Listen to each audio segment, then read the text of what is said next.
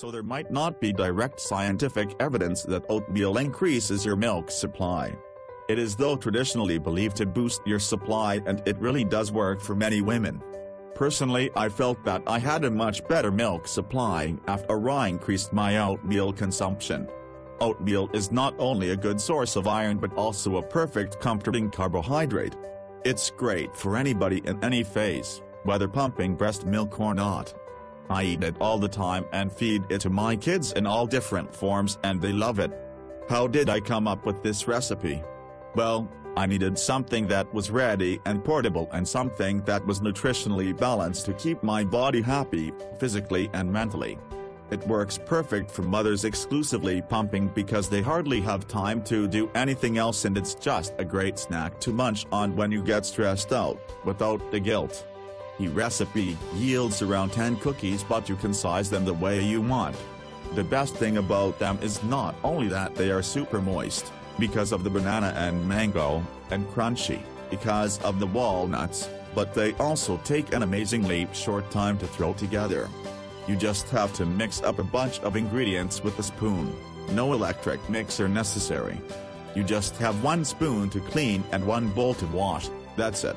Here's the recipe for 10 cookies, 1 cup rolled oats 1 tablespoon coconut flakes 2 tablespoons dried cranberry 1 4th cup cut up dried mango 1 4th cup walnuts chopped to your liking 2 scoops vanilla whey protein pinch of salt or ripe bananas 1 tablespoon oil. I used all of 2 tablespoons almond milk or milk mix up to the oats, coconut flakes, whey protein, salt, dried fruits and walnuts in a bowl.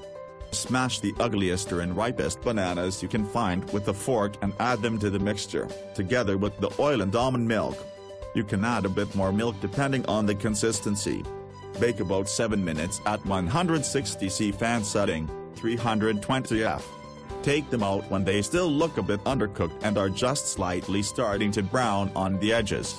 Let them sit on the tray for about 10 minutes before you remove them. Honestly, I used to think protein powder is only for bodybuilders.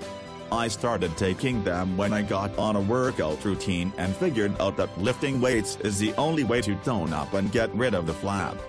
Then I realized that protein powder is actually a great meal substitute for anyone on the run. I've added protein to these because I'm in the shredding phase, I need to get my waistline back, and refuse to cut out my sweet treats. I'm usually low on protein and high on carbs so this is an attempt to balance things out a bit. You can substitute the flour and sugar instead if you like. That's the way I make it for my kids most of the time.